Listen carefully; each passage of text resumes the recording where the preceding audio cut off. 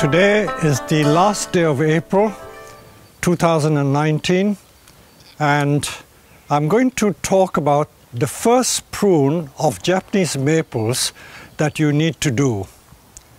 It's hard to believe that a tree like this, so dense and absolutely profuse with leaves, all this has been produced in the last 30 days. 30 days ago, this tree hadn't got a single leaf on it, and in the space of one month or 30 days, it is completely covered. Many of you will know that I love maples in particular, and not only that, I love large bonsai. Although I'm not a large person, most of my trees are extra large. This tree, from the base of the tree to here, must be every bit four or four and a half feet.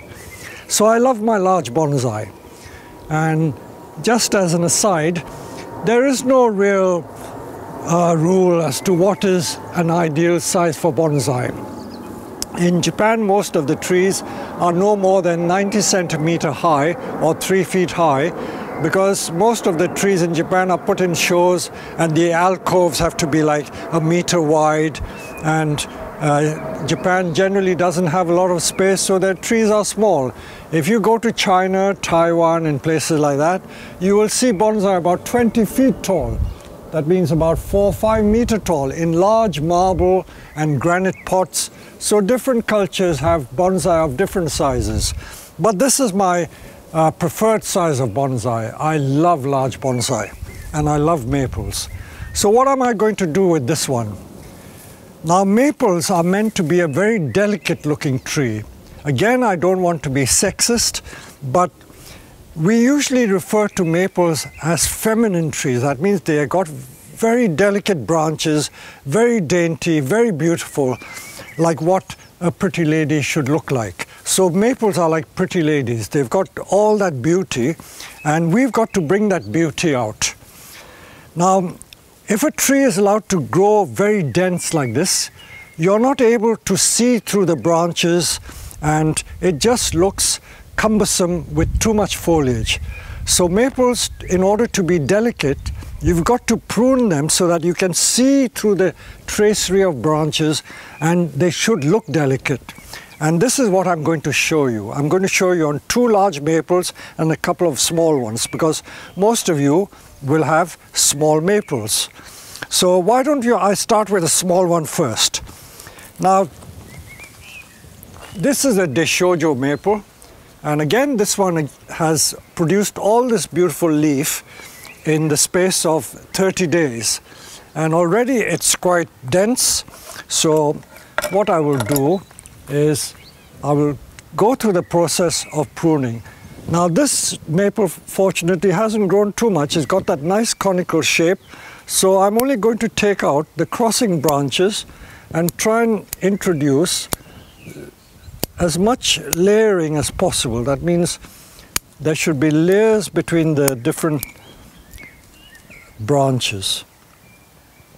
And that's all I'm going to do. Now you must be wondering, why do we waste all this lovely growth? And especially like this beautiful red one, why do you want to cut all that growth out? There are two reasons why we have to thin the maples out. And the first one is because if you let it become too dense, the inner twigs and inner small branches will not get enough light. And if they do not get enough light, they will dieback. So you will get quite a lot of dieback if you have inadequate light. Now this one, fortunately, is not so dense. I've only taken a few of the tips out. Very important to take the ends of the shoots out because if you don't take the ends of the shoots out, it will continue to grow longer and longer and the branches will get extended.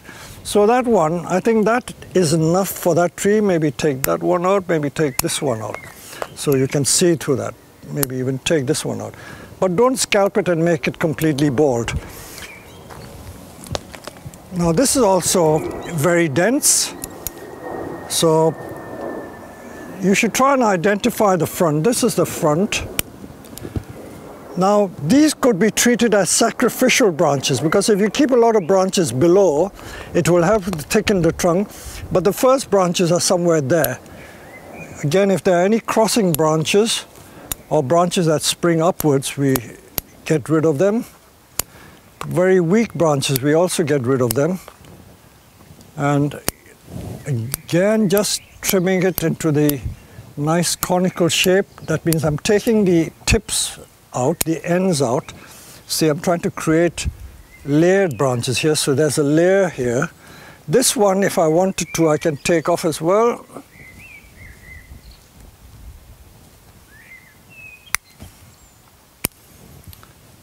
So you introduce some layers. And there as well, you can layer some of that and thin some of those.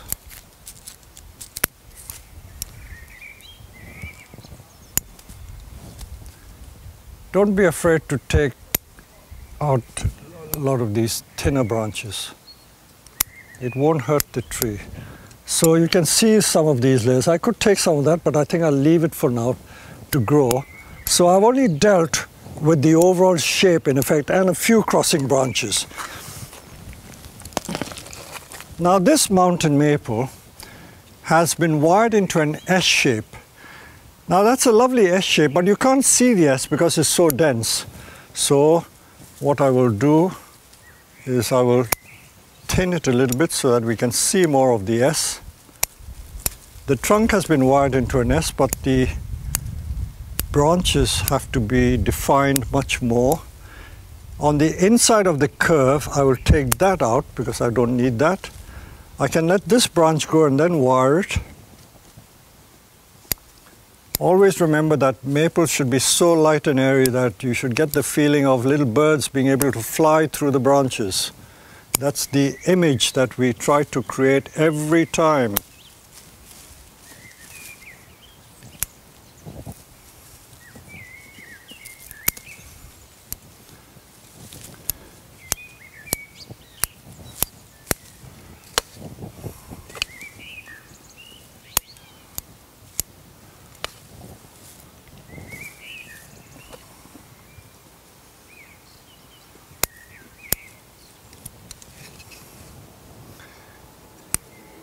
The apex at the top, there's a lot of growth and I want to thin this a bit, otherwise it becomes too dominant on the apex.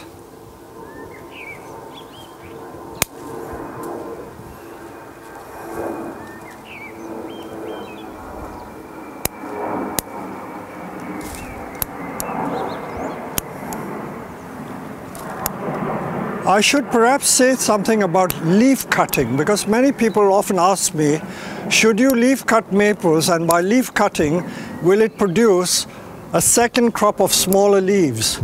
Now, my answer to that is that I'm not a great believer in leaf cutting because by leaf cutting, the leaves don't necessarily get smaller the second time round.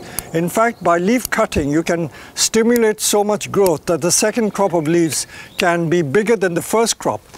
And never do it to a weak tree, do it to a strong tree. If the tree is strong, then it can take leaf cutting. If it's not strong, then by leaf cutting, you weaken the tree. So be warned. I leaf cut mainly on trees like the horse chestnut, which, which has large dinner plate size leaves. So you can see how much I've taken out already. If you wind your uh, video back, you can see what the before was like. So again, the main thing is to prune to the conical shape, take the tips of the growing shoots out, and that should be enough. And these are the branches that you should encourage to grow and when they get firm you can perhaps wire it in the correct direction. So this is all this year's growth. So in the last four weeks we've had about six to eight inches that is nearly about 25 centimeters of growth in the young branches. So that is how I would thin the tree. Now let's come to this big boy here. As many of you know, I am a very, very fast worker. This tree would probably take someone a whole week to thin, but I can do it in about half an hour, maybe even 20 minutes. So what do I do first? the first thing I do is to create the overall shape. By the way, although I've got quite a few tools, my favorite tool is really just the scissors. You can use the long handle twig shears, but I found that these supposedly I think they're root shears because the handle is so nice and comfortable to hold. This is my favorite tool at the moment, but as long as they're scissors, it's fine. You don't need branch cutters unless you're cutting a branch. So the first thing to do is to look at the overall shape. This one has got a good conical shape. So all the growing tips I will take out. So this is again what I would call sophisticated topiary. Nothing more than that. It's just topiary. But that's not all that I'm going to do. There's much more to it than that. But this is the starting point. It's amazing how much growth I've made because in the space of four weeks, some of these shoots are more than 30 centimeter, more than 12 inches long. And this tree being so heavy has not been protected in the greenhouse at all. It has stood out in the open right through the winter. And again, in this part of England, we've had temperatures of minus eight on two nights. And most of the winter is about four or five degrees centigrade.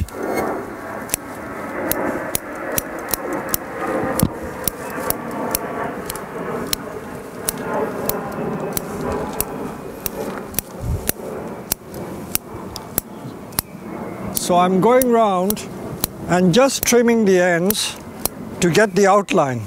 And I always like to stand back, stand back to see the overall shape. If you're too close to the tree, you don't get such a good idea as to what the overall shape is like. So from time to time, keep going back and then see that the overall conical shape is still there. A tree that is growing strong can stand the treatment that I'm going to do. I'm literally going to almost like pluck the leaves as if I'm plucking tea leaves. In fact, when people pluck tea leaves in the tea gardens, they take more care than what I'm going to do. So all I'm going to do is use my two fingers and go around and remove some of the leaves like that.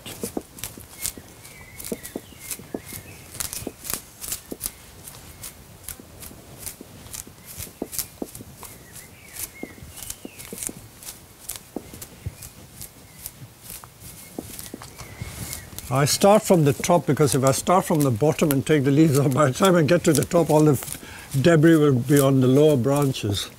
So I'll start from the top. So just going around like this, what I call plucking tea leaves.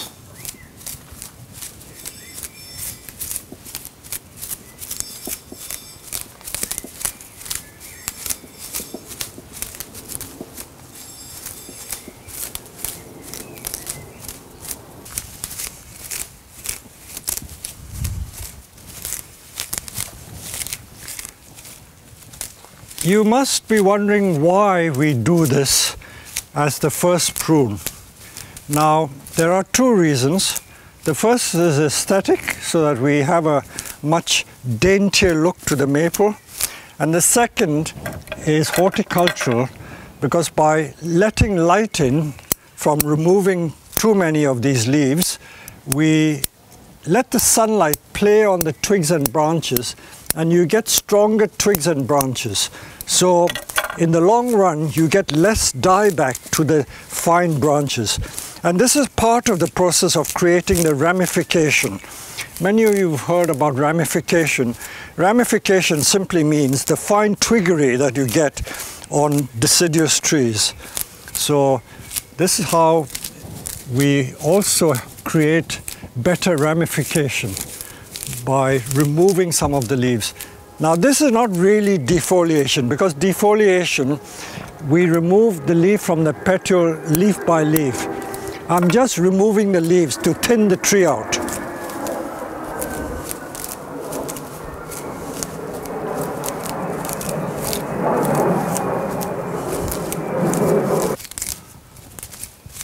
I'm just judging by eye how much to remove. Once I begin to see through the twigs and branches, then I know that's when I think I've done enough.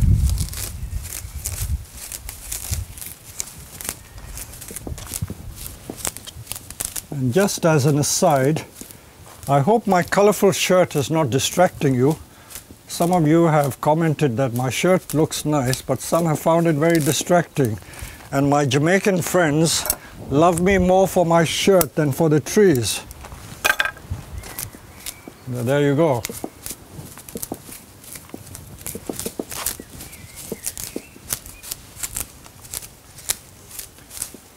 Well, moving the leaves like this, I only do to big trees. With small trees, there's not as much foliage, so you can take your time and maybe even do it with scissors if you wish. But I'm doing this by hand because it's a very fast way, quick method of doing it.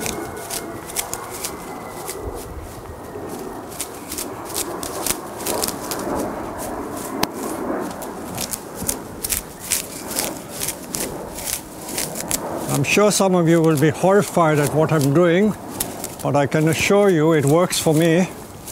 And you can see the quality of the maples that we have here.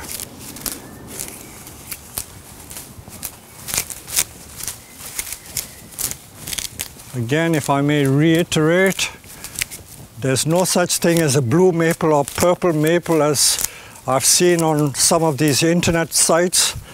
And that fellow has stolen my YouTube video. You'll probably look at it and you will see that my hands and my fingers making various maples and groups they are all my YouTube videos. So please uh, you can respond to Facebook or YouTube and tell tell them that they've stolen Peter Chan's YouTube videos. Right. I'm not quite there but I'll go and have a look and see It's only tended a little bit, still got to do more. Of the deciduous trees, I think the maple is probably the only one that can stand this sort of treatment. I don't know of many other trees. If you look at Korean hornbeams or Japanese beech, they don't have as many leaves as maples do for the same size tree. So this method I only use for my maples what we call leaf plucking. Okay, now that I can see the twig structure, I can go in and remove some of the unwanted twigs. If we home in on this, you see the long twigs like this, I can take back upward pointing shoots like so. I can reduce so that I introduce layers between the maples, uh, maple uh, branches.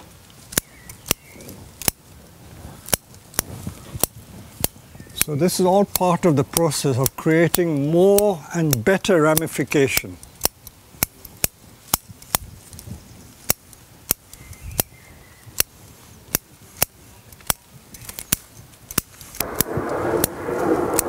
So you can see the different layers that I've tried to maintain. Anything springing upwards, I'm going to take out.